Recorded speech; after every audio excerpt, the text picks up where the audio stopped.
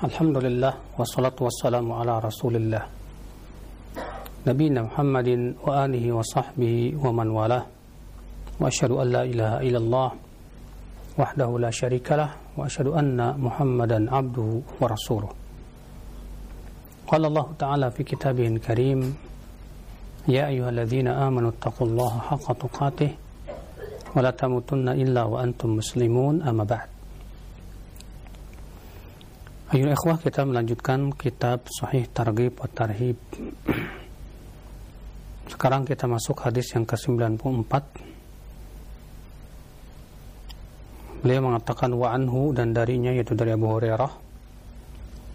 Ia berkata Rasulullah sallallahu alaihi wasallam bersabda Man kadzaba alayya muta'ammida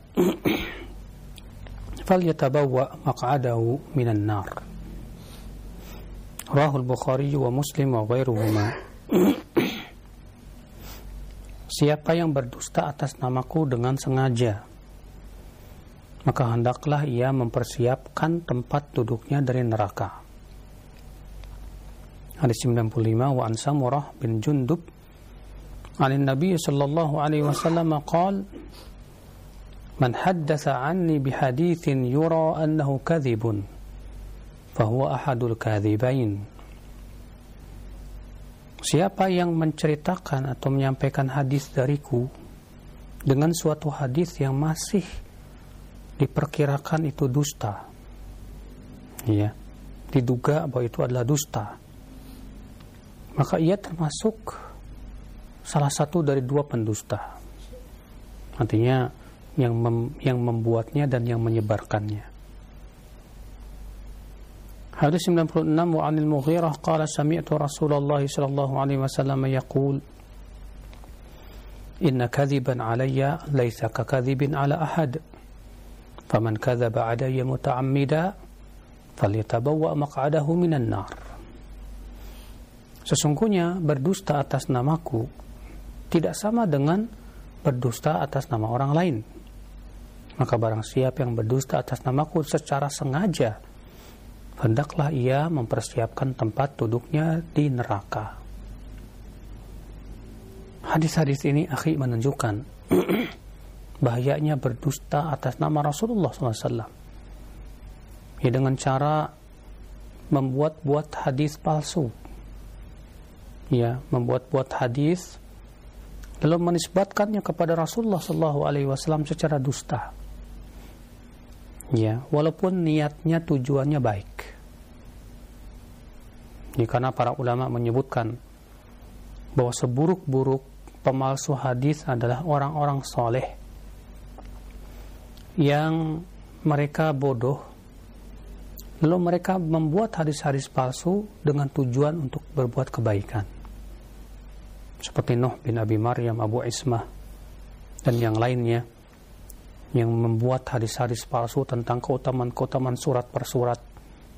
Tujuannya katanya ketika ditanya kenapa kamu buat kata Bu Isma karena aku melihat orang-orang sibuk dengan fikih madhab dan berpaling dari Al-Quran. Maka aku sengaja buat hadis-hadis ini tujuannya supaya mereka ya mau mempelajari Al-Quran kata Bu Isma. Tujuannya bagus banget. Tapi sayang caranya yang salah dengan cara berdusta atas nama Rasulullah Shallallahu Alaihi Wasallam. Saudaraku seiman, ya. Maka haram hukumnya kita membawa atau membuat-buat hadis palsu. Dengan cara membuat-buat dari kita ucapan yang bagus misalnya. Lalu kemudian menisbatkan kepada Rasulullah Shallallahu Alaihi Wasallam. Ya seperti yang kita lihat di zaman sekarang ya ter ber beredarnya hadis-hadis yang baru muncul di zaman ini. Contoh misalnya hadis sebelum bulan Ramadan biasanya suka muncul itu. Iya. Katanya Rasulullah SAW naik mimbar lalu mengucapkan amin, amin, amin. Lalu kemudian Rasulullah ditanya apa yang kau aminkan?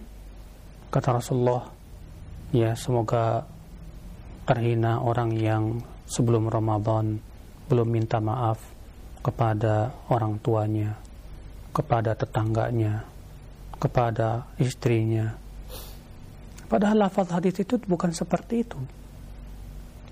Ya, yang ada dalam riwayat Imam Ahmad dan yang lainnya, bahwa Rasulullah SAW ditanya, apa yang kau aminkan, hai Rasulullah?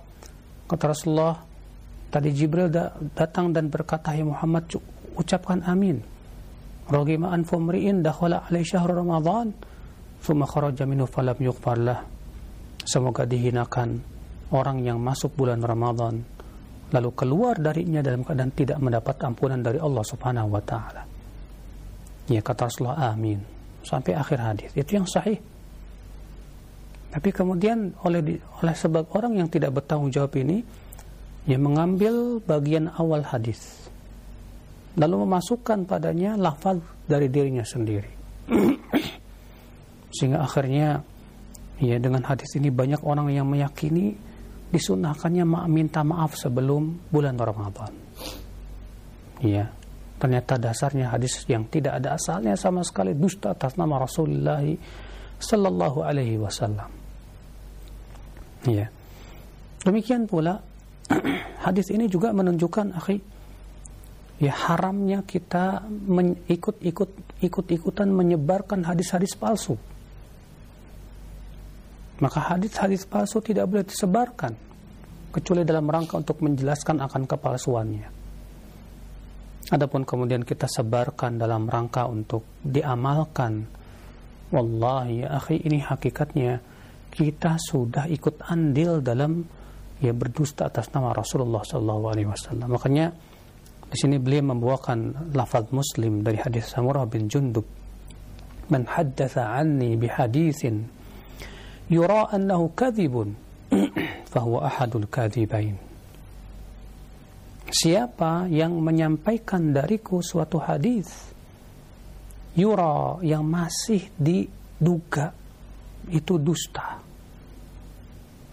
Ya masih diduga itu dusta belum bisa dipastikan tapi masih jadi dugaan itu dusta. Ya tapi ia sampaikan maka ia termasuk salah satu dari orang yang berdusta Kata Ibn Hibban dalam kitab Al-Majruhin ketika membawakan hadis ini, beliau membawakan judul untuk hadis ini apa? Man syakka fi riwayati. Ahwa minas sahih am minas saqim. Bahwa dakhilun fi ya uh, hadal khabar. Siapa yang ia masih ragu ya ketika ia meriwayatkan hadis apakah ini hadisnya sahih atau dhaif masih ragu dia tapi ia sampaikan maka ia masuk di dalam hadis ini. Bayangkan subhanallah ya akhal Islam. Kalau masih ragu saja, masih diduga bahwa ini tidak sahih, hadis palsu, itu masuk di dalam ancaman. Bagaimana kalau kita ternyata sudah tahu itu palsu kemudian disampaikan? Maka kewajiban kita sebelum kita menyampaikan hadis, pastikan dulu kesahihannya Pastikan dulu, tanya kepada ahlinya. Iya, jangan sampai hanya karena melihat isinya bagus, kemudian kita sebarkan. Ya, ternyata hadisnya palsu, akhi. Contoh misalnya di bulan Rajab, beredar hadis-hadis palsu tentang keutamaan puasa Rajab di hari pertama, hari kedua, hari tiga, sampai hari ke-20. Pada Al-Hafidh Ibn Hajar Al-Asqalani rahimahullah dalam kitab Tabinul Ajab fima warada fi fadli Rajab ya sudah menjelaskan akan kepalsuannya hadis tersebut. Ya. Masya Allah ya akhal Islam. Maka hati-hati. Jangan sampai kita ikut-ikutan menyebarkan hadis palsu. Karena ancamannya berat. Rasulullah mengatakan man kadzaba alayya muta'ammida. Siapa yang berdusta atas namaku dengan sengaja falyatabawwa maq'adahu minan nar. Maka hendaklah ia mempersiapkan tempat duduknya di neraka. Bayangkan saudaraku seiman ya ini ancaman yang sangat mengerikan sekali. Ya. Maka dari itu wajib kita untuk apa namanya menjelaskan kepada manusia akan kepalsuan hadis. Karena ini sama saja kita membela sunnah. Ketika kita menjelaskan ini hadisnya palsu, ini hadisnya dhaif, ya ini hadisnya sahih, Wallahi ya akhi itu hakikatnya pembelaan terhadap sunnah Rasulullah sallallahu alaihi wasallam. Alhamdulillah kita kaum muslimin diberikan oleh Allah ilmu hadis. Dengan ilmu hadis itulah kita bisa memeriksa suatu hadis ya dari sisi status derajatnya apakah ia sahih atau tidak sahih. Ya, karena ini merupakan khasaisu hadhil ummah keistimewaan yang khusus dimiliki oleh umat Islam saja, tidak dimiliki oleh umat-umat yang lainnya. Saudaraku seiman, Abdullah bin Mubarak berkata, Ya al-isna al-isnadu minad din, falaula al-isnadu laqala man syaa ma syaa. Sanad hadis itu adalah bagian dari agama ini. Kalau bukan karena adanya sanad hadis, orang akan sembarangan ya membuat-buat hadis-hadis Rasulullah SAW. Tapi dengan adanya sanad, kita bisa periksa sanadnya sahih apa tidak. Kayak di zaman sekarang penting sekali, akhi. Terkadang ada orang seenaknya aja HR Muslim. Ternyata dicari dalam Sahih Muslim nggak ada. HR Bukhari. Dicari dalam Sahih Bukhari juga nggak ada. Ya. Maka dari itu kita berusaha untuk ikut andil dalam membela sunnah Rasulullah SAW dengan cara ya pertama tidak ikut-ikutan menyebarkan hadis palsu. Yang kedua kita cross check dulu sebelum kita sebarkan. Apakah hadis itu sahih atau dhaif? Ya. Yang ketiga kita jelaskan kalau ternyata hadis itu palsu supaya manusia menjauhinya dan tidak menyebarkannya. Hadis ini juga menunjukkan akhi bahwa berdusta atas nama Rasulullah SAW ini bahayanya besar. Apa bahayanya? Itu akan dianggap sesuatu itu sebagai agama, padahal bukan agama sama sekali. Akan dimasukkan ke dalam Islam sesuatu yang bukan dari Islam. Iya, karena keyakinan bahwasanya ini sabda Rasul. Karena itu sabda Rasul, maka menjadi sebuah hujah. Maka Rasulullah mengatakan, berdusta atas namaku tidak sama dengan berdusta atas nama orang lain. Kenapa? Karena ucapan Rasulullah hujah. Dan ini bantahan terhadap orang yang mengatakan bahwa ucapan apa kiai, ucapan ulama itu ya wajib diterima benar ataupun salah. Atau pendapat yang mengatakan bahwa imam itu maksum, tidak mungkin salah. Wali itu mahfud, terjaga dari kesalahan. Ya. Karena berdusta atas nama Rasulullah tidak sama dengan berdusta atas nama siapa pun juga ya akhi. Kita masuk ke bab selanjutnya at-targhib fi ikramil ulama wa ijlalihim wa tawqirihim min idha'atihim wa adamil mubalati bihim. Anjuran untuk menghormati para ulama ya dan menyanjung dan menghor dan mengagungkan mereka. Dan ancaman dari menyia-nyiakan para ulama dan tidak memperdulikan mereka. Ya akhi ulama itu adalah masabihud tuja. Mereka itu lampu di kegelapan malam ulama-ulama yang telah kokoh keilmuan itulah yang membimbing kita untuk memahami Al-Quran dan hadis. Para ulama itu ya akhi sangat kita butuhkan melebihi kebutuhan kita kepada makanan dan minuman. Karena dengan adanya para ulama lah ya man, banyak manusia yang terbimbing. Dengan para ulama lah Allah subhanahu wa ta'ala memberikan hidayah hati yang mati para ulama berusaha bagaimana caranya orang-orang yang hat, yang matanya mata hatinya buta menjadi melek kembali. Ya. Sungguh ya akhi, sangat indah sekali pengaruh ulama kepada manusia. Tapi sangat buruk sikap manusia kepada ulama. Ya fa Allahul musta'an.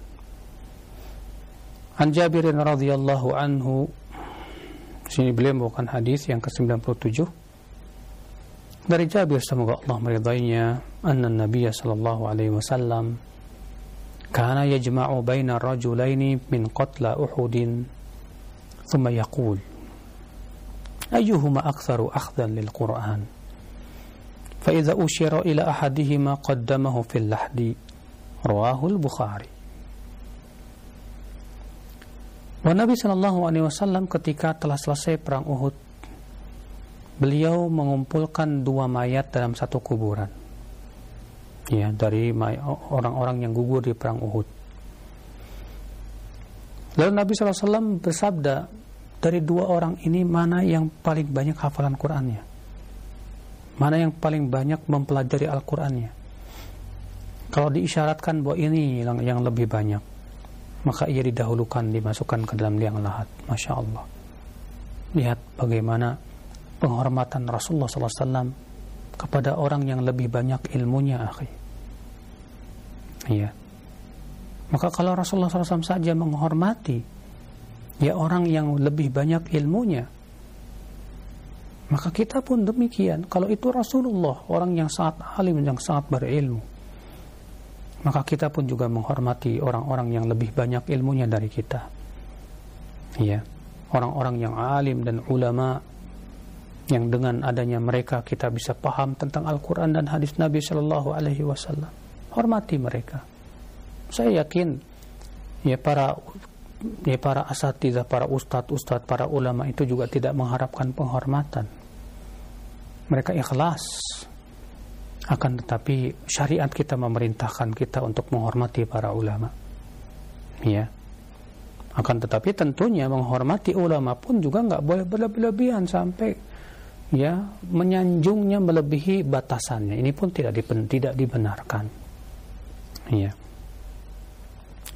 Hadis berikutnya wa an Abi Musa radhiyallahu an anna Rasulullah sallallahu alaihi wasallam qala إن من إجلال الله إكرام ذي الشيبة المسلم وحامل, وحامل القرآن غير الغالي فيه ولا الجافي عنه وإكرام ذا ذي السلطان المقسط رواه أبو داود Di antara yang termasuk mengagungkan Allah adalah menghormati orang yang muslim yang lebih tua yang sudah beruban dan menghormati para pembawa Al-Quran. Namun tidak dengan berlebihan padanya. Dan tidak juga meremehkan. Dan menghormati para penguasa yang adil. Dikeluarkan Abu Daud. Di sini Rasulullah Shallallahu Alaihi Wasallam ya akhi. Ya. Menyebutkan bahwasanya termasuk penghormatan atau pengagungan kita kepada Allah ya. Artinya tanda orang yang mengagungkan Allah tuh kayak gimana sih? Yaitu yang pertama menghormati seorang muslim yang sudah tua dan lebih tua dari kita. Ya. Maka Islam memerintahkan yang muda menghormati yang tua. Dan Islam juga memerintahkan yang tua untuk menyayangi yang muda. Bukan mengenyekkan menghinakan atau menganggap remeh yang lebih muda juga tidak. Yang muda juga menghormati yang lebih tua. Sehingga akhirnya ya terjadilah apa hubungan yang sangat serasi sekali antara yang tua dengan yang muda. Ya. Maka Rasulullah mengatakan di antara bentuk pengagungan kita kepada Allah yaitu menghormati seorang muslim yang lebih tua ya dari kita. Kita hormati dia. Ya. Yang kedua menghormati para pembawa Al-Quran. Siapa mereka? Yaitu mereka yang menghafal Al-Quran, memahaminya, ya, dan berusaha untuk memahami tafsirnya, makna-maknanya, dan mengamalkannya, dan menyampaikannya kepada manusia. Dan Al-Quran itu isinya ilmu ya akhi, Masya Allah. Maka kita hormati para pembawa Al-Quranul Karim. Ya. Ghairil ghali fihi walal jafi anhu. Namun pembawa Al-Quran yang seperti apa yang kita hormati kata beliau itu yang tidak ber, yang tidak gulu berlebih-lebihan melebihi batasan syariat yang akhirnya berbuat bid'ah dalam agama. Walal jafi anhu tidak juga meremehkan yaitu ya dia tidak meremehkan Al-Quran dalam artian dia meng, ya dia mengamalkan Al-Quran. Adapun dia menghafal Quran, tapi kemudian tidak mau tidak mengamalkan Al-Qur'an, akhlaknya bertabrakan dengan Al-Qur'an. Ya. Berbuat maksiat kepada Allah Subhanahu wa taala, tidak peduli dengan rambu-rambu Al-Qur'an padahal dia hafal Al-Qur'anul Karim. Wallahi akhi yang seperti ini harus kita nasihati. Kasihan. Karena disebutkan dalam riwayat Bukhari dalam sahihnya bahwasanya Rasulullah SAW dibawa oleh dua malaikat suatu dalam mimpinya dan mimpi para nabi itu hak. Lalu Rasulullah SAW melihat ada orang yang ditelentangkan lalu kemudian kepalanya dihancurkan oleh besi apa oleh oleh batu. Lalu batu itu menggelinding. Lalu kemudian diambil batu itu. Ketika kembali ternyata kepala orang itu sudah bagus kembali. Dihancurkan lagi. Rasulullah bertanya, siapa dia wahai Rasulullah? Eh, wahai, wahai malaikat, siapa dia mereka? Yang dihancurkan kepalanya tersebut, saudaraku. Maka kata Rasulullah Sallallahu Alaihi Wasallam, ya akhi, ya uh, kata dua malaikat ini, itu orang yang mengambil Al-Quran,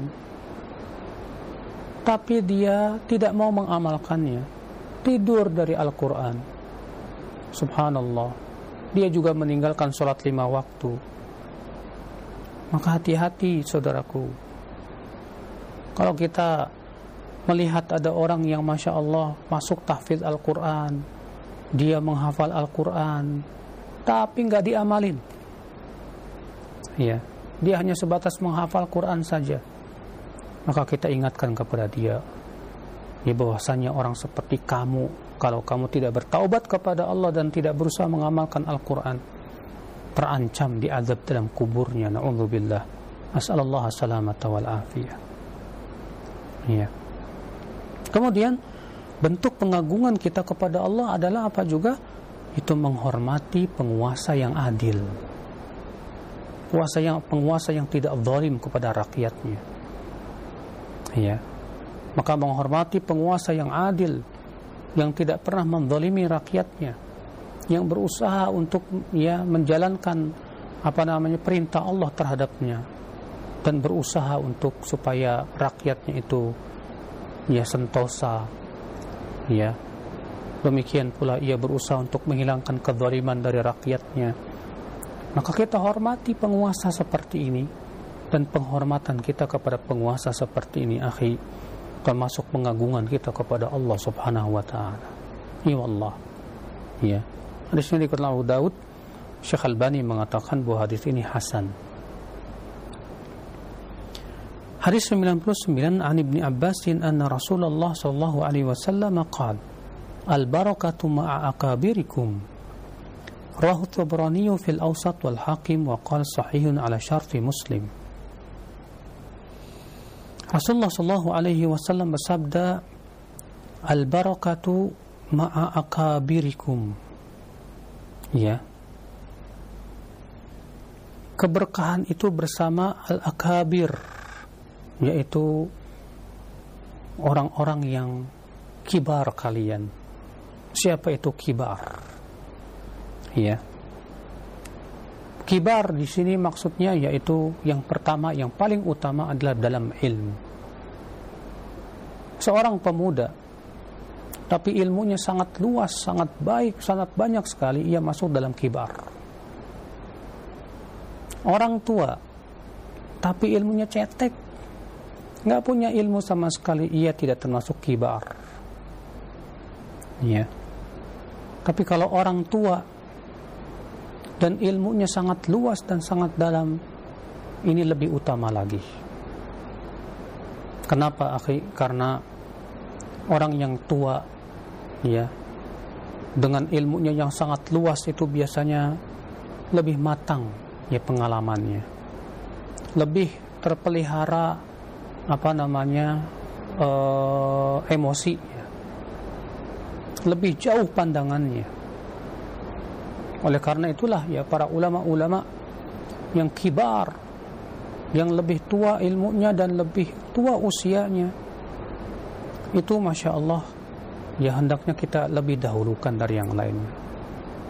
Tapi bukan berarti apa yang diucapkan oleh ulama kibar ini bagaikan Al-Quran yang tidak boleh disalahi. Bukan.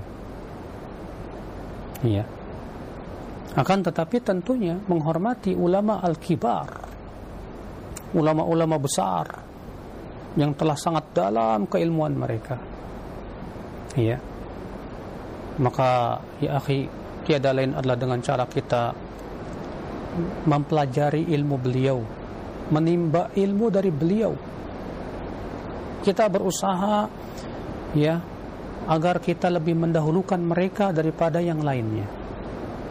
Bukan berarti kita tidak menuntut ilmu dari yang lain, kita tetap menuntut ilmu dari yang lain. Sebagaimana Imam Bukhari mengatakan, seseorang tidak dianggap sebagai ahli hadis sampai ia mengambil dari tiga orang. Yang pertama dari yang lebih tua darinya. Yang kedua, ya,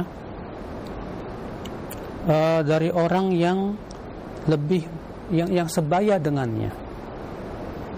Yang ketiga yaitu yang mengambil ilmu dari yang lebih muda dari baru dia sebagai ahli hadis ya saudara seiman azani Allah wa yakum yang jelas akhi ya Rasulullah sallallahu alaihi wasallam di sini yang mengingatkan kepada kita bahwasanya keberkahan itu bersama ya para ulama yang kuat keilmuan mereka, kokoh keilmuan mereka. Bukan ulama-ulama yang dianggap ulama padahal bukan ulama ya akhi. Ya. Bukan sebatas dia apa namanya apa namanya pandai bicara kemudian pengikutnya banyak lalu kemudian dianggaplah dia ulama padahal hakikatnya bukan ulama bukan Syekh Sulaiman Ar-Ruhaili rahimahullah ia menyebutkan tentang makna akabir. Beliau berkata, "Wa akabiruna naw'an." Akabiruna fis sin kibarus sin minna. Ya, al-barakah ma'ahum wan naf'u ma'ahum wal khair ma'ahum lianna ad-dunya 'allamathum wat tajarub hannakathum fahum la yata'ajjalun wa nastafidu min tija min tajaribihim. Makna kibar di sini akabir. Yang pertama yaitu kibar dalam usia. Ya. Maka keberkahan bersama mereka kenapa? Karena mereka sudah banyak makan garam. Mereka sudah banyak pengalaman. Mereka biasanya tidak tergesa-gesa dalam memutuskan suatu keputusan. Mereka biasanya memandang jauh segala sesuatu Beda dengan para pemuda yang masih semangatnya ya menyala-nyala, biasanya keputusannya masih dipengaruhi oleh emosi. Sedangkan orang-orang yang sudah tua biasanya mereka tidak akan tergesa-gesa, tidak akan dipengaruhi oleh emosinya. Ya. Makna yang kedua kibarul ilmi wa haula'i barakatum a'zam. Ya yaitu orang-orang yang dalam keilmuannya, penguasaan terhadap Al-Quran dan hadisnya dan ilmu-ilmu yang lainnya dia Masya Allah maka keberkahan mereka lebih besar lagi kata Syekh Sulaiman Ar-Ruhaili waman jama'a bainal amraini fahuwa abrok dan yang mengumpulkan dua perkara sudahlah ia tua dalam usia sudah begitu ilmunya juga luar biasa maka ini lebih berkah lagi ya Subhanallah ya akhul Islam azani Allah wa. Ya. Maka dari itu ya akhi ya kewajiban kita berusahalah. Ya, mereka yang lebih tua dan lebih kuat keilmuannya itu kita lebih dahulukan. Bukan berarti kita tidak menuntut ilmu dari yang lainnya. Ya sebagaimana di Saudi sana Syekh bin Baz yang paling tua dan paling dalam ilmunya luar biasa ya beliau sangat dihormati sekali akan tetapi bukan berarti kemudian semua ucapan Syekh bin Bas harus diikuti bukan berarti kemudian ya apa yang diucapkan dan ijtihad Syekh bin Bas itu bagaikan Al-Quran yang tidak mungkin salah karena sebagian penuntut ilmu yang ketika memahami kata-kata al-barakatu ma'akabirikum keberkahan bersama kibar kalian ya akhirnya malah bersikap gulu ya, seakan-akan yang diucapkan oleh ulama kibar ini sama dengan ucapan Rasulullah SAW yang tidak mungkin salah. Ini jelas tidak tidak tidak tidak dibenarkan tentunya. Ya tetap ya mi'yar kita, parameter kita Al-Qur'an dan sunnah Rasulullah sallallahu alaihi wasallam. Ya. Kewajiban kita ya adalah berusaha untuk mengikuti mana yang sesuai dengan kitabullah dan sunnah Rasulullah sallallahu alaihi wasallam. Itu lebih kita sanjung ya dari segala-galanya. Wan Abdullah bin Umar dan dari Abdullah bin Umar semoga Allah meridainya. Yubalik bihin Nabi sallallahu alaihi dia menyampaikan itu bahwa ini dari sabda Nabi wasallam. Laisa minna man lam yarham saghirana wa ya'rif haqqa kabirina. Bukan dari golongan kami.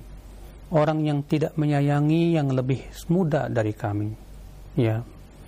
Apa tidak menyayangi yang lebih muda dan tidak mengetahui hak yang lebih tua.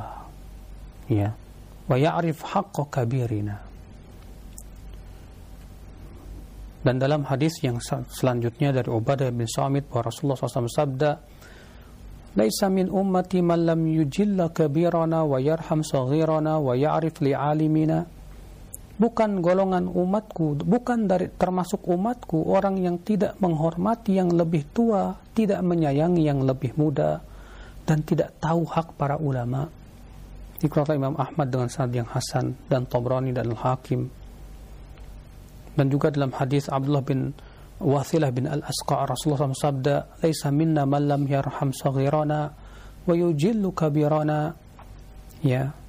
Wa yujilla kabirana belum bukan dari golongan kami orang yang tidak menyayangi yang lebih muda dan tidak menghormati yang lebih tua dikeluarkan At-Tabrani dan dari Amr bin Shu'aib dari ayahnya dari kakeknya bahwa Rasulullah sallallahu alaihi wasallam bersabda, "Laisa minna man lam yarham saghirana wa ya'rif syarafa kabirina." Rawahu Tirmidzi wa Abu Dawud ila annahu qala wa ya'rif haqqa kabirina. Bukan golongan kami orang yang tidak menyayangi yang lebih muda dan tidak mengenal kemuliaan yang lebih tua atau tidak mengenal hak yang lebih tua.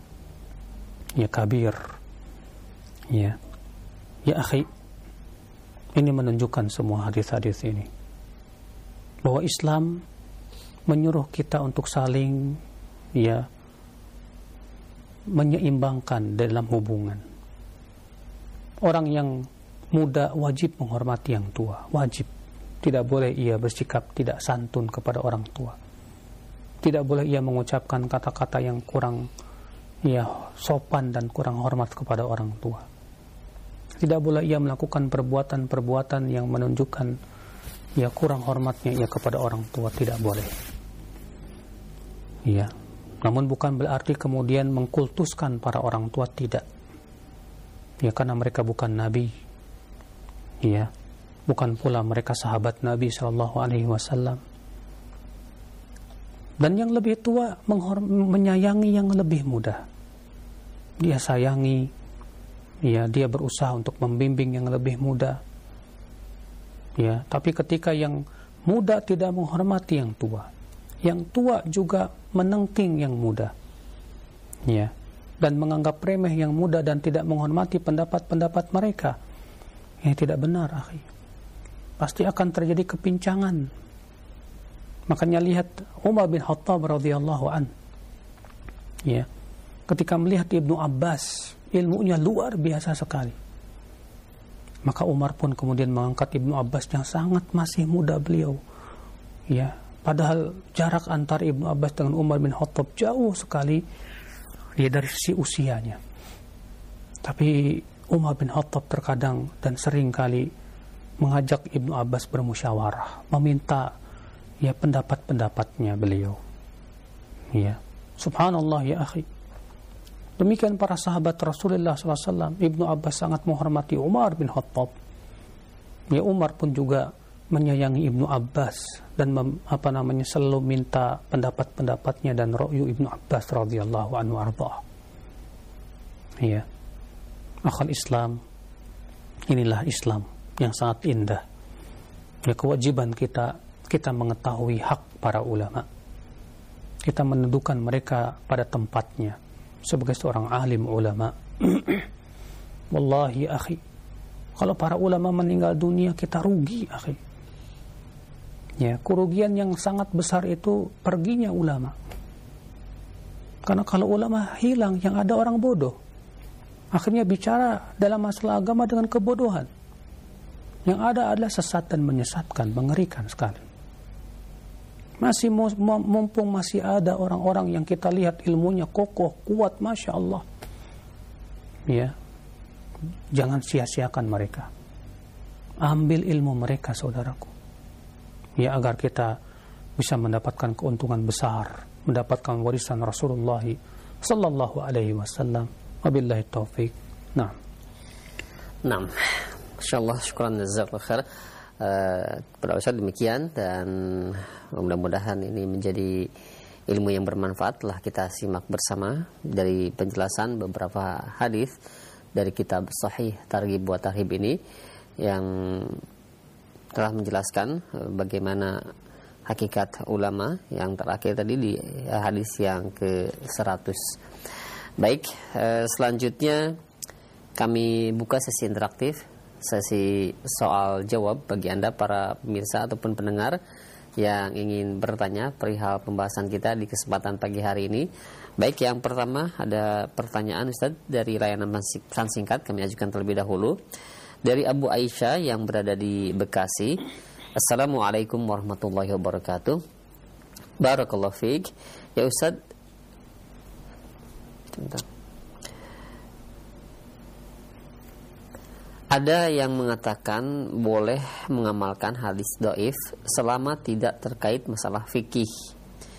Misalkan terkait masalah doa-doa, zikir pagi petang, dan zikir lain-lainnya. Ataupun hal-hal yang terkait dengan adab, akhlak, dan lainnya. Apakah hal tersebut dibenarkan Ustaz? Jazakallah khair atas jawabannya. Memang ada perselisihan ulama tentang bolehkah mengamalkan hadis doif dalam fadilah amal dalam masalah fadilah amal menjadi dua pendapat. Pendapat yang pertama boleh. Tapi Al-Hafidh Ibnu Hajar Al-Asqalani dalam kitab Tabinul Ajab menyebutkan bahwa mereka yang mengatakan boleh mengamalkan hadis lemah dalam fadilah amal hendaknya diikat dengan tiga syarat. Ya, perhatikan syarat-syarat yang disebutkan oleh Ibnu Hajar Al-Asqalani dalam kitab Tabiun al-Ajab. Apa syaratnya? Yang pertama, ya Allah yakuna syadida dha'af. Tidak boleh sangat lemah. Tidak boleh sangat lemah. Ya, adapun kalau sangat lemah bahkan palsu tidak boleh. Haram. Yang kedua, ya, itu tidak boleh diyakini itu sunnah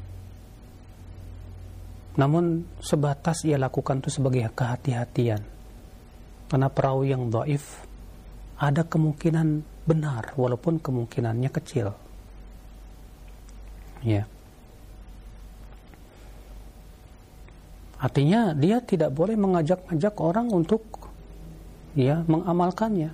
Cukup buat dirinya sendiri. Ya. Itu syarat yang ketiga. Syarat yang kedua ya bahwa dia tidak boleh meyakini itu sebagai sunnah Nabi dan memastikan bahwa itu sunnah Rasul tidak boleh. Karena untuk memastikan itu harus berdasarkan yang sahih. Syarat yang ketiga yaitu Allah yushahar bih tidak boleh dimasyhurkan. Tapi ia amalkan buat dirinya sendiri saja. Nah, sekarang tiga syarat ini terpenuhi tidak di zaman ini? Tidak kita lihat terkadang hadis-hadis yang doifnya ya berat pun diamalkan. Ya dan kita lihat dimasyhurkan bahkan. Sementara ya beliau memberikan syarat tidak dimasyhurkan. Ini pendapat sebagian ulama. Adapun madhab Imam Bukhari, Muslim dan banyak ulama-ulama hadis mengatakan bahwasanya hadis doaif secara mutlak nggak boleh diamalkan. Bahkan dalam masalah fadilah amal pun nggak boleh. Ya, kenapa? Alasan mereka. Karena hadis doif itu hanya menghasilkan dugaan yang lemah. Ya, doif yang ringan saja. Doif yang ringan itu adalah perawinya disifati sebagai sayyiul hifad, buruk hafalan. Siapa? Antum tahu tidak siapa buruk hafalan itu? Ya kata Al-Hafidh Ibn Hajar Al-Asqalani rahimahullah ketika mendefinisikan sayyul hifad buruk hafalan, Allah yatarajjah janibu sawabi ala janibi khata'ihi. Sisi salahnya tidak bisa mengalahkan sisi benarnya. Sisi benarnya tidak bisa mengalahkan sisi salahnya. Sama-sama kuat. Berarti kalau sama-sama kuat menghasilkan apa? Keraguan, saudaraku. Keraguan. Sementara Rasulullah SAW menyuruh kita untuk meninggalkan sesuatu yang meragukan. Rasulullah bersabda, "Da'ma yaribuka ila ma la yaribuk." Tinggalkan apa-apa yang meragukan kepada apa yang tidak meragukan. Ya. Berarti hadis lemah itu masih masih sampai tingkat dugaan lemah, bukan dugaan kuat. Dan dugaan lemah dengan ijma para ulama tidak boleh diamalkan. Rasulullah bersabda, "Iyyakum wadh-dhann, fa inna dhann akdzabul hadis." Jauhi oleh kalian dugaan. Maksudnya dugaan di sini kata para ulama dugaan yang lemah. Karena dugaan yang lemah itu adalah seburuk-buruknya ucapan. Ya. Berarti akhir ya, berdasarkan dalil-dalil tadi itu menunjukkan bahwa hadis lemah walaupun itu lemahnya ringan tetap tidak boleh diamalkan. Kenapa? Karena itu masih apa, masih meragukan. Sementara telah ada dari dalil dari Rasulullah SAW, ya perintah untuk meninggalkan sesuatu yang sifatnya meragukan. Dan inilah madhab yang rajih, yang paling kuat. Ya, adapun madhab pertama dinisbatkan sebagai madhab jumhur, akan tetapi yang sahih, ya madhab jumhur tidak demikian. Iya. Sebab kalau kita melihat perbuatan Imam Ahmad, Imam Syafi'i, Imam Abu Hanifah, mereka semua berhujah dengan hadis yang sahih. ya. Saudaraku seiman. Maka dari itu pendapat yang didukung oleh dalil-dalil yang kuat dan kokoh sekali adalah yang mengatakan dari pendapat Imam Bukhari dan Muslim bahwasanya hadis lemah tidak boleh diamalkan walaupun itu dalam masalah fadilah amal nggak boleh. Bahkan kalau kita baca kitabnya Ibnu Hajar dalam kitab Tabyinul Ajab itu, beliau sepertinya condong kepada pendapat yang kedua ini yang tidak boleh diamalkan. Iya. Beliau mengatakan tidak sebetulnya tidak ada bedanya kata beliau. Tidak ada bedanya kata beliau antara fadilah dengan hukum. Itu kullu syar'un. Kenapa? Karena semua itu masuk dalam pensyariatan. Baik fadilah amal maupun masalah hukum semua itu pensyariatan. Maka tidak boleh mengamalkan hadis yang yang yang lemah sama sekali ya akhwal Islam. Allahu a'lam. Nah. Nah, baik. Uh, syukran jazakallahu atas penjelasan Al Ustaz. Uh, demikian untuk yang bertanya dan jawaban tadi merupakan penjelasan dari beberapa pertanyaan yang sama di layanan pesan singkat ya. Baik, untuk selanjutnya kami ajukan kembali pertanyaan yang masuk di layanan pesan singkat. Nah, uh, saat ini banyak sekali yang mengaku bermimpi berjumpa dengan Rasulullah SAW dan mengumumkannya ke mana-mana. Bahkan ada beberapa yang mengaku bertemu dalam keadaan terjaga atau ketika tidak tidur. Apa, apakah pengakuan tersebut jika dia berdusta ancamannya seperti dalam hadis nomor yang ke-94 dan apakah jika memang kita bermimpi bertemu dengan Nabi ataupun dengan orang-orang yang soleh yang kita kenal itu merupakan tanda kebaikan? Pertama, bertemu dengan Rasulullah dalam keadaan jaga ini mung tidak mungkin dan mustahil. Karena sesungguhnya orang yang sudah meninggal dunia tidak mungkin kembali lagi ke dunia maka orang yang mengaku bahwa ia bertemu dengan Rasulullah dalam keadaan jaga itu orang yang paling dusta. Iya.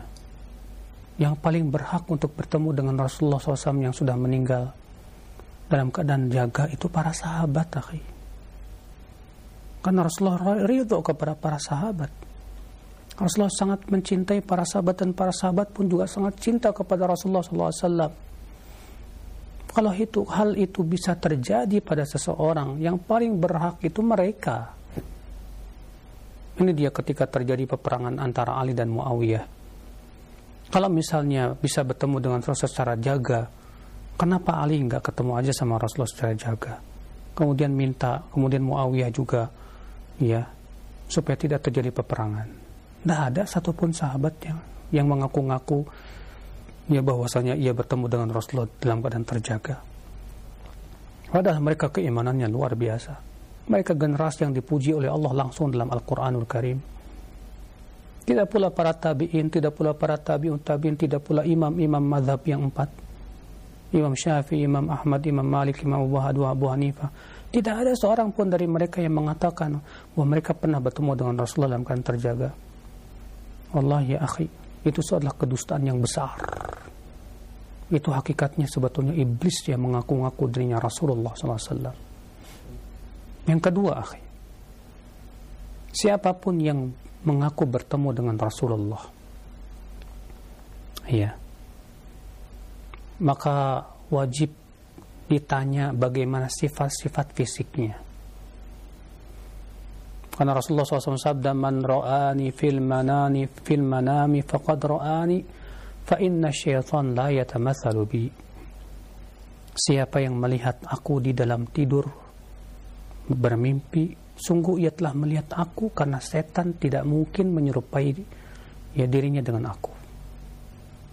Sekarang kalau kita lihat kamu melihat Rasulullah dalam mimpi kamu bagaimana sifat bentuk fisiknya? Kalau dia berkata, aku tidak melihat wajahnya. Kita katakan ini setan ngaku-ngaku Rasulullah. Kalau sebatas mengaku-ngaku, setan bisa.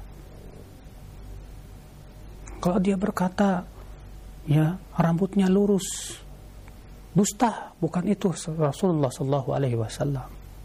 Kalau dia berkata nggak punya jenggot pelontos, dusta Rasulullah SAW jenggot jenggotnya masya Allah. Ya. Kalau dia berkata wajahnya, matanya itu sipit, itu bukan Rasulullah Shallallahu Alaihi Wasallam. Bagaimana hidungnya? Hidungnya ya nggak mancung-mancung banget sih, ya pesek lah dikit. Ini dusta ya akhi. Ya. Hati-hati saudaraku sekalian.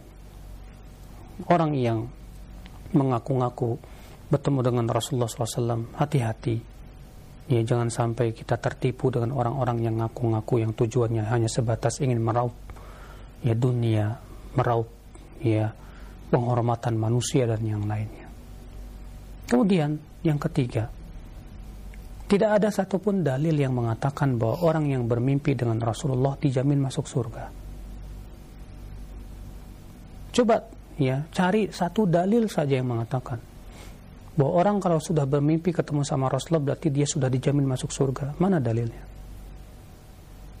Kalau jaminan kepada para sahabat sudah jelas. Ya. Kalau jaminan kepada para sahabat sudah jelas. Nah, dari itulah ya, akhi, jangan tertipu oleh mimpi. Jangan tertipu, apalagi kalau misalnya ada orang ngaku mimpi bertemu Rasul. Lalu kemudian dalam mimpinya disebutkan katanya Rasulullah mensyariatkan ini dan itu sesuatu yang tidak pernah disyariatkan oleh beliau waktu hidupnya. Gak benar. Iya. Sebab syariat Rasulullah sudah sempurna saat Rasulullah masih hidup. Sudah sempurna. Maka dari itu hati-hati. Karena ini bisa jadi adalah kedustaan dari syaitan dan permainan, permainan dari syaitan.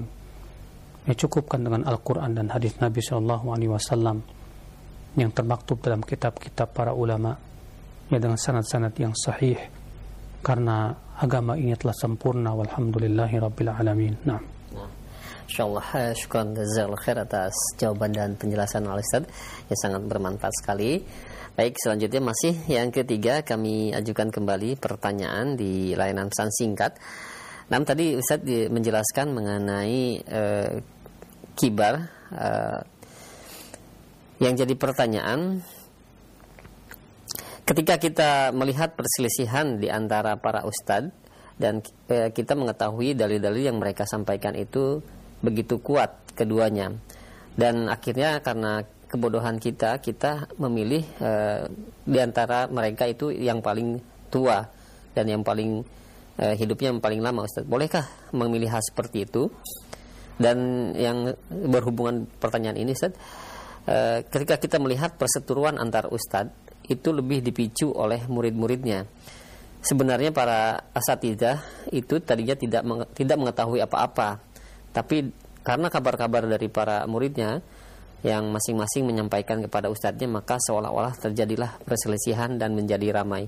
Mohon nasihatnya atas kondisi seperti ini Ustaz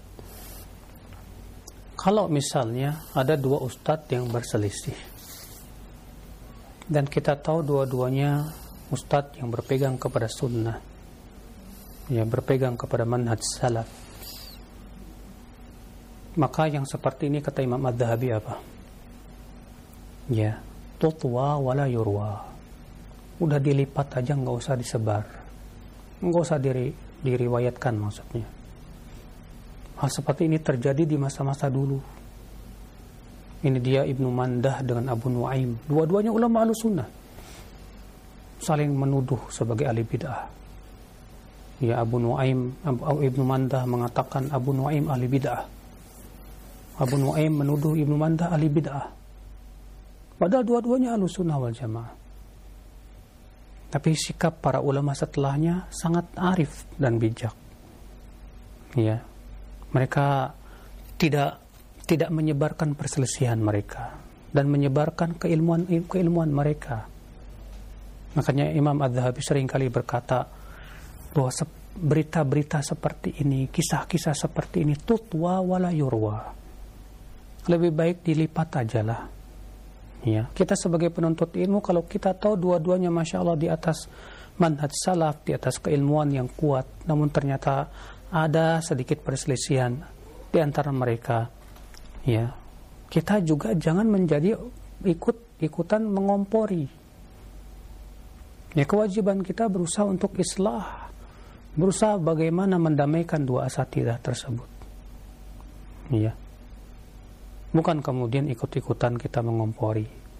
Ini tidak dibenarkan tentunya. Kemudian, kalau misalnya kita melihat dua-duanya hujahnya kuat. Ya, karena memang keilmuan kita juga lemah, sehingga tidak bisa menilai mana yang lebih kuat, mana yang lebih hebat, maksudnya lebih hujahnya lebih kuat gitu lalu kita lebih memilih yang lebih tua ilmu apa usianya. Silakan saja kalau kita meyakini dia lebih berilmu. Ya namun tentunya berusahalah sekuat tenaga untuk bertanya lagi juga kepada para asatidah-asatidah yang lain. Kan ustadz bukan cuma dua. Kalau misalnya ada dua ustadz berseteru ya ustadz-ustadz yang lain dikemanain? Ya karena memang sedang ramai ada dua ustadz ya sekarang ini yang sedang berseteru yang kemudian diramaikan oleh orang-orang yang dihembuskan oleh orang-orang yang memang senang dengan adanya hal seperti ini. Iya. Coba antum sampaikan apa uh, tanyakanlah kepada asatidah yang lainnya yang masya Allah ilmu juga, mereka juga kuat dan kokoh. Barangkali ya ustadz-ustadz yang lebih tua yang lebih dihormati itu bisa mendamaikan dua ustadz tersebut. Ya untuk kemudian didudukan bersama. Untuk kemudian dipahamkan. Karena ini masalah-masalah ilmiah cukuplah para ustadz saja yang berbicara. Ya ada yang bertanya juga kepada saya tentang masalah ini tentang perselisihan tersebut. Saya bilang kepada dia udahlah biarkan mereka yang berselisih. Kamu penuntut ilmu jangan ikut-ikutan. Ambil ilmu dari mereka. Ya ambil selama mereka dua-duanya di atas manhaj yang hak. Wallahu a'lam. Nah. Nah, baik. Uh, syukuran jazakallahu atas jawaban dan nasihat al Ustaz. Demikian dan selanjutnya kami beralih di layanan telepon yang ingin bertanya secara langsung. Silahkan kami berikan kesempatan. Assalamualaikum warahmatullahi wabarakatuh. Waalaikumsalam warahmatullahi wabarakatuh. Dengan siapa di mana? Dari Umar Abdillah di, di Sulawesi, Ustaz. Di Sulawesi, silahkan. Iya, pertanyaan saya begini Ustaz. Itu ini saya bertanya tentang sholat Ustaz. Apa di luar tema. eh itu anu dua rakaat dua rakaat sesudah sholat isya sholat apa namanya itu ya empat, maksudnya empat rakaat sesudah sholat isya dan empat rakaat sesudah sholat duhur itu yang itu bisa dilakukan secara rutin atau bagaimana Ustaz? Iya, baik. Baik. Eh, Assalamualaikum warahmatullahi wabarakatuh. Assalamualaikum warahmatullahi wabarakatuh. Adapun empat rakaat setelah zuhur, ya telah ada hadis-hadis yang menunjukkan anjuran untuk merutinkannya.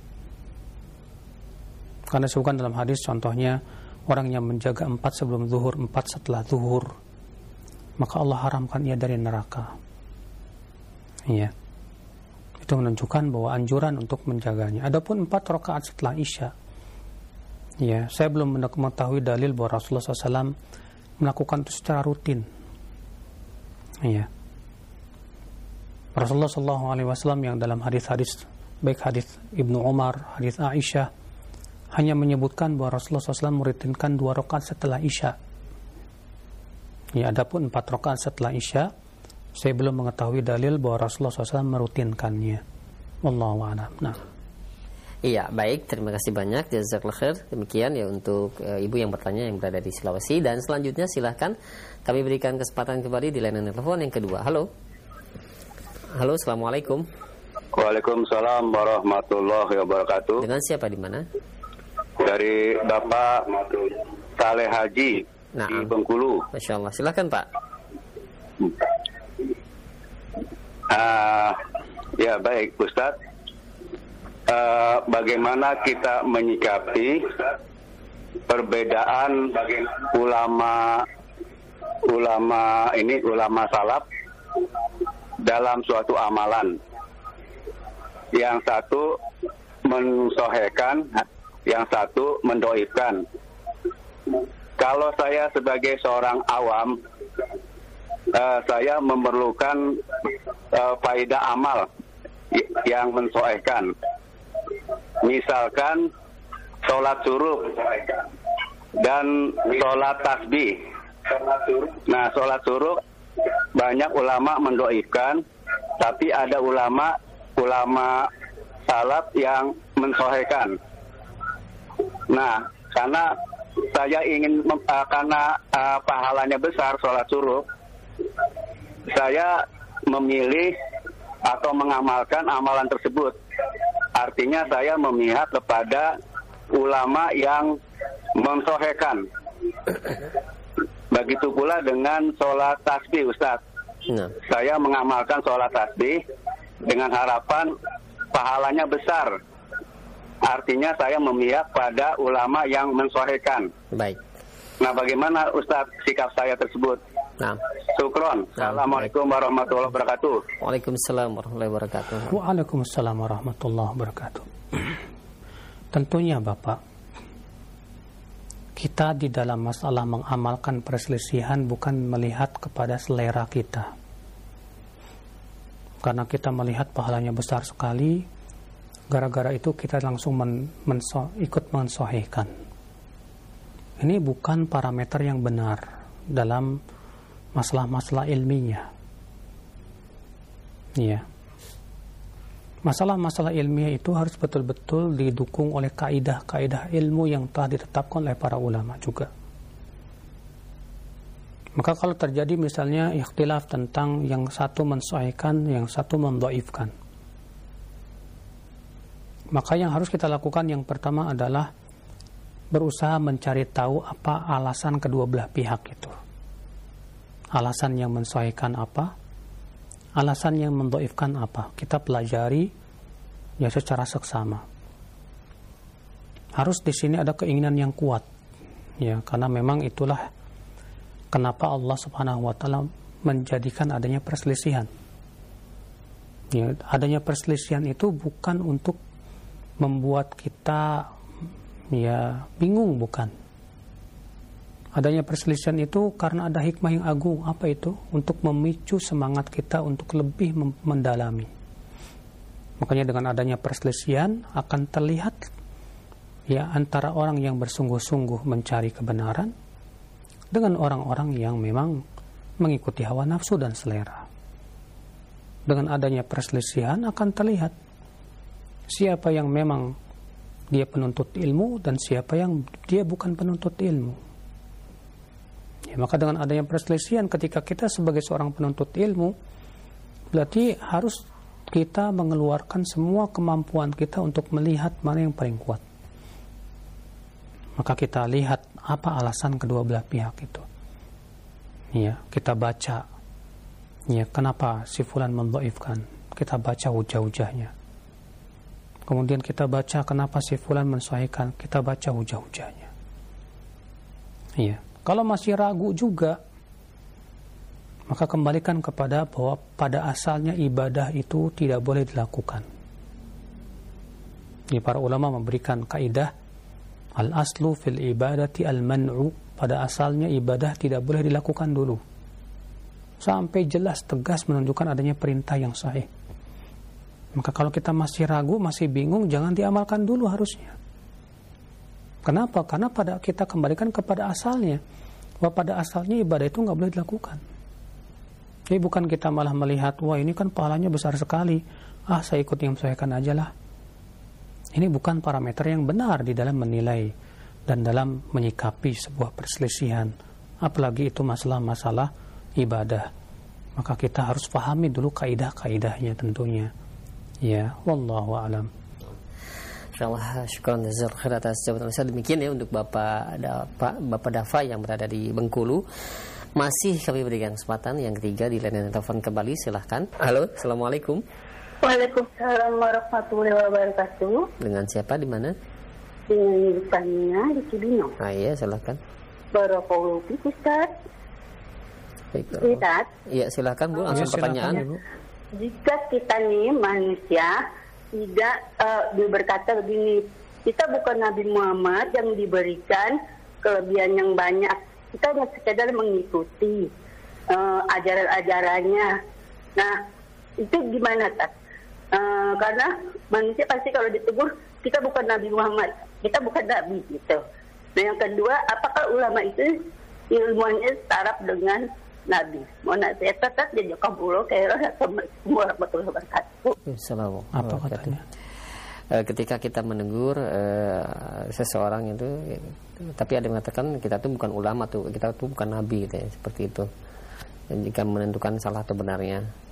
Yang kedua, ketika uh, ada yang menegur, ya kita kita ketika kita menegur hmm. seseorang, hmm. kemudian ada yang mengatakan bahwa kita itu bukan ulama, bukan nabi, yang berhak menentukan salah dan benar. Hmm. Terus yang kedua eh, keilmuan eh, dengan ulama dan para nabi, perbandingannya. Pertama, iya, bahwasannya kewajiban kita apabila melihat kemungkaran yang sudah kita pelajari betul-betul ilmunya bahwa itu memang mungkar, wajib kita ingkari bila kita mampu. Bila dia orang yang dikari mengatakan kamu bukan nabi, maka tidak boleh menilai ini salah atau benar. Jawab, saya memang bukan nabi, betul. Tapi nabi sudah mengabarkan dalam hadis-hadisnya bahwa itu mungkar. Ya. Karena Rasulullah sudah sudah mengabarkan dalam hadis-hadisnya itu mungkar, ini berasal dari Nabi Shallallahu Alaihi Wasallam. Kamu juga kan bukan ulama, saya memang bukan ulama, tapi saya sudah membaca kitab-kitab para ulama. Ya. Dan ternyata dalam kitab-kitab ulama itu perbuatan yang salah. Sampaikan demikian. Adapun apakah nabi dan ulama seimbang ilmunya? Wah, ini penghinaan terhadap Nabi Shallallahu alaihi wasallam. Nabi SAW bersabda kepada para sahabat, Inna a'lamakum billahi ana Sesungguhnya orang yang paling berilmu tentang Allah di antara kalian adalah aku. Rasulullah yang paling berilmu. Tidak ada siapa pun yang ilmunya seperti ilmu Rasulullah SAW di kalangan sahabat, wala tabi'in, tidak pula para ulama. Tidak ada satupun ulama yang mengatakan ilmu saya sekali ber Rasulullah. Wallahi ini adalah sesuatu yang besar dan berat di mata Allah. Ya. Maka ulama berusaha untuk mengikuti Rasulullah. Ulama diperintahkan untuk mempelajari warisan Rasulullah berupa Al-Quran dan hadis. dan berusaha untuk mempelajari ilmu-ilmu alat untuk beristimbat dari Al-Quran dan hadis.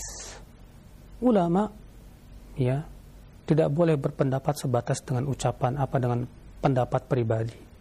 Harus berdasarkan Al-Quran dan hadis. Semua harus dengan dalil. Karena yang menjadi dasar Islam itu adalah Al-Quran, hadis dan ijma. Ya, adapun pendapat ijtihad ulama bisa diterima dan bisa ditolak sesuai dengan hujah yang ia sampaikan. Demikian wabillahi taufik semoga yang saya sampaikan bermanfaat. Wabillahi taufik. Assalamualaikum warahmatullahi wabarakatuh.